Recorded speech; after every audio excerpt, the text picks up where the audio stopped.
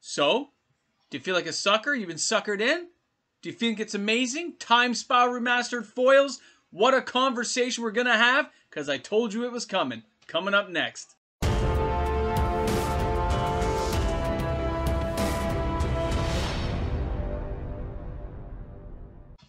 Hey guys, welcome back. MTG Moxman here. If you're new to my channel, you found me somehow in the Nintendo world of Street Fighter's backyard, thanks a lot for checking out my content today. I do hope you enjoyed it. Today is going to be a little fun. We are talking about Time Spiral Remastered. Now, I was not big on this set. I told you guys I wasn't. I didn't care about a lot of reprinted cards. I was very negative on it. And in some ways, I still am. I still think the price point is totally off. But they have done something that has caught my eye. And I did mention this about a month and a half, two months ago, where we talked about the foil Jeweled Lotus and saying it was the first real kind of we're getting on that chase card theme, right? There's been a few kind of things they've done to kind of work toward the chase card, and it looks like now they're perfecting it. So do you feel like a sucker or do you feel amazing? I don't know, but I get to say I told people so because I knew this was coming. They've seen it be great in the other collectible card market, and I said if they saw it there and they can see the sales, they follow the track the figures, they know it's going to work for them, and they're going to sail it. They're going to fly with it. They're gonna, they're going to mow the lawn with it. They are going to make money doing chase cards wherever they can. And I actually don't have a problem with it. My problem is the price point they put it at, and that's all. My apologies, guys. We got some background noises coming in there. I will just put everything on mute. My apologies. It's you guys sending me messages. So the first thing I want to mention here is what they did was they have a, a collection of foils. These time shift, these awesome foils. They've made ultra rare within the set.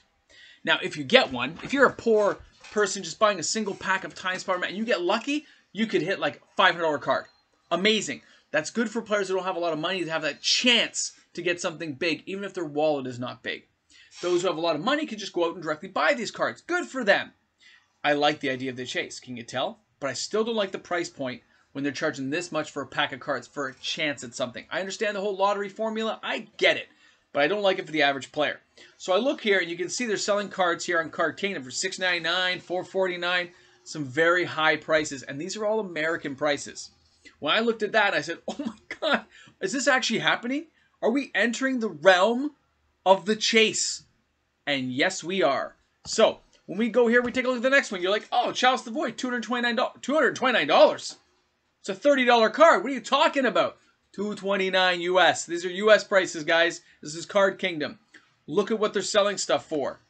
Now, when you go ahead and you see, oh, Kiki, the Void, okay. Oh, wow, 229. Oh, my goodness. I'm starting to sweat here, guys. That's a lot of money. You're talking Serra's Sanctums. You're, you're talking almost a Gaea's Cradle at this point. Mox Diamond for sure. If you get lucky enough to get one. Now, we kind of knew this was coming we, we had this inkling back then. I told you guys that. My, my gut my gut does not go wrong very often, and it told me they know what's going on out there. If they know it, you know it. And I was right.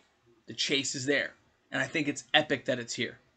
I'm wondering what they'll do in a standard set, in a regular set. They haven't done anything for Kaldheim really except for the Vorinclex, right? But it's still really rare and sought after cards. So I wonder what they'll do for Strixhaven. I wonder what's happening for D&D. Modern Horizons 2. What will they do? I'm getting thrilled again. I'm getting psyched up. I can't believe it. it. It's amazing to me that this could happen. So the idea of this, though, means, I mean, a player with a big enough wallet can just go out and purchase the individual card. But for the average player who doesn't have that money, just buys a pack or two, this could be a real game changer for those who might get lucky and get a really rare pack, like back in the day if you opened a Lotus, right? You had a lot of trade value there. Although sometimes people trade them for Shivan Dragons, if I recall correctly. So you look at this, and we look, you look there, you see, okay, on eBay.com, uh, this one sold for 239 Now, the Chalice is not the biggest of the sales I'm going to show you, but it is selling. It sold on the 20th. Now, that immediately follows me up to look at the prices. And when I look at these prices and I see what they're going for, you're like, there's people trying to get 750 US for a chalice, 450 for US, 417. Now, to me, the 750 is what's called a ploy. Do not fall for the ploy. That is not the real price somebody's trying to get. There's people collaborating together. They pump a couple up really high, hoping the low ball ones are the ones that get sold. Okay, this car was as cheap as 300 and change, by the way. So that's what a lot of people will do is a little, little scheme. Can have multiple accounts on eBay. It's probably even the same card in a different background situation, and they put it in a different. There's lots of ways to make it look right. So in this case, they're just trying to pump up a price to make it look like this is a good selling price. Don't go for that heavy hitting big one up there. That is not the standardized price. Look what sells. The one that sold for 239 might have been a little fast. Anything around that 300 mark is probably what they're trying to get for the card, but that doesn't mean you have to fall for that. You can wait and see, because when an average player finds one of these and puts up for sale, or goes local LGS, they're going to sell quickly, hoping to cash in before more of these are opened. But then they've told us that this was a limited print run. Remember that. This is limited. It's a shortened print run. Really? Is it? I doubt it. They may have only done one print run, but you have no idea what's sitting in the warehouses ready to go to distributors. You don't know. I don't know either. Right? They just have they have whole pallets sitting there waiting to go that they're going to slowly dole out to make sure that this product stays right where they want it to. Or maybe they actually printed it short thinking it wouldn't do well, like Kaldheim. I doubt it. Kaldheim already had its calls in, and so would Time Spy Remaster. They already would have had all the all the printing presses going. They would have known what was needed roughly. Um, will it be printed again though? Who knows? Maybe Wizards going back to the one and done situation. They did it in old sets. Maybe they know that's better flavor for players to always be churning things over, making boxes rarer as well. I don't know, but I can tell you right now the Time Spy Remaster boxes are going up in value. If you haven't seen this yet, they're going up already. So be prepared and pay attention to it. It's going high and it's going fast. My local stores around here are already charging over $300 a box, which means they've already jacked it up 20%. I expect them to go higher as they kind of reel in and realize they can make more money, which means the distributors will be charging more to the stores, and it has this cycle going backwards. I'm not sure how Wizards feels about that when they aren't charging more, but it's one of the reasons why Wizards is probably putting things out to Amazon, right? They don't want to pay those distributors extra money and having them jack up the prices. They probably don't like that very much. But these cards, this chase that we're in now, might be a good thing. Okay, you can still buy an average pack of cards for three, four, five bucks. But if you get lucky on this, you you've really hit a, like a mini jackpot, which is fantastic for players who don't have the means to do this with.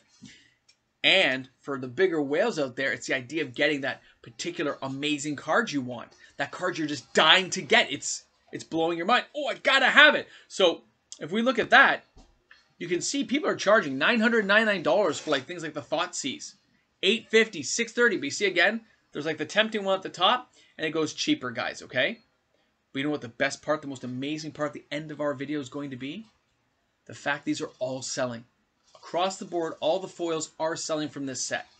So when you take a look here, and you see Thoughtseize sold for 669 it's selling for 449 It sold for 425 And this is all in the last couple of days. When you see that and you know it's selling, that has to tell you something. People want the chase card. They want the idea of getting something really hard and unique. But the downside of all this is when Wizards succeeds in getting these products to market, when they start tabulating up all the sales and they see what they've done, they're going to do it again which means boxes like this will stay at this price. They will stay a little more expensive. Probably when they see what the distributors are selling for, they may even tack on 15% to try to moderate what the market can do, which means those boxes actually get more expensive for everyone. And a box that's more expensive for everyone is good for no one, guys. You've got to be paying attention to the prices. You'll choose and decide, right? You as players decide what you want to buy. I skipped this set on purpose. I still don't think it's worth the price. The chase cards that are within it, if I really had to have one, I wouldn't buy the chase card. I want a functional card I can play with, so I'll just buy one of the reprints at a cheap price.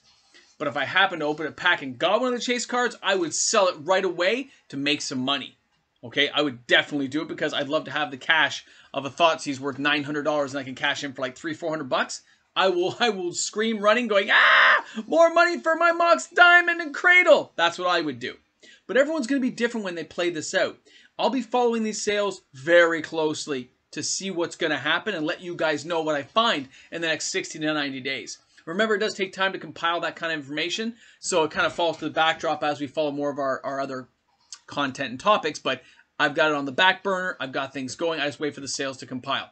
So guys, I really hope you enjoyed the video tonight. It's something to really be aware of that this era of chase is going to be here. It looks like it's here to stay, and I find it fascinating. I'm not against it. I just want to see what they're going to do with it. Okay? So thanks a lot for tuning in today. Please leave comments, questions, concerns below. Let me know what you guys think. How do you feel about this chase card with all these fancy foils and cool stuff? Are they Pringling? Let me know that too. I'd love to know if they're Pringling. All right, guys, looking forward to talking to you every day of the week. This is MTG Moxman. Have yourselves a great one, guys. I will see you all tomorrow. That's crazy pricing. Crazy. Hey guys, thanks for tuning in. Big shout out to all my patrons out there. You guys make the world go round. As you can see, it spins. And it spins with nachos and cheese, some boomstick additions, Shop Smart, Shop S Smart, and of course Bruce Campbell's an awesome actor. Who, who's